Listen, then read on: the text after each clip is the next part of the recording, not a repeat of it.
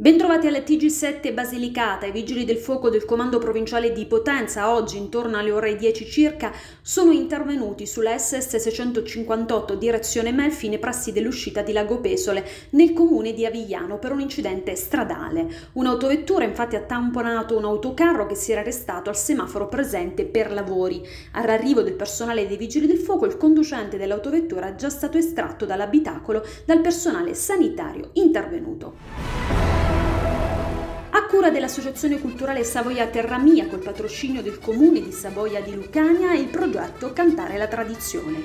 Alla base di questa idea progettuale vi è la volontà di portare avanti la ricerca, il recupero e la diffusione della conoscenza delle tradizioni salviane e lucane attraverso l'analisi della letteratura e le indagini sul campo. Questa antologia musicale unisce infatti e mostra il parallelismo tra la tradizione salviana e quella di Tricarico. Si è cercato non a caso di riportare i brani ritenuti più espressivi sul tema dell'amore nei canti popolari.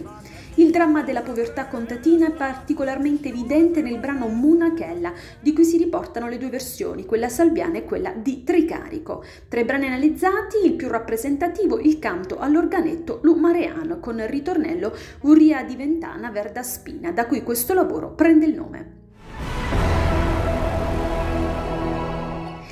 Voci del presepe, arti e ritratti della comunità viglianese, questo è il nome del progetto a cura di Basilicata Culture in collaborazione con il comune di Avigliano. Si tratta di un'esperienza audiovisiva narrativa itinerante alla scoperta del territorio aviglianese e degli antichi mestieri che ne rappresentano l'identità e l'autenticità. I protagonisti sono persone reali che abitano e lavorano tra Possidente, Lago Pesole, San Nicola, Sant'Angelo e la stessa Avigliano e che raffigurano quei personaggi personaggi del presepe quasi sempre in secondo piano rispetto ai ben più noti protagonisti della Natività. Si presentano attraverso suggestivi audioracconti, comparendo contemporaneamente come videoproiezioni in formato gigante sulle superfici di edifici e chiese delle location interessate, per poi ritrovarsi uniti sotto la luce dello stesso proiettore in un collage di ritratti conclusivo che riassume questo presepe assolutamente inedito.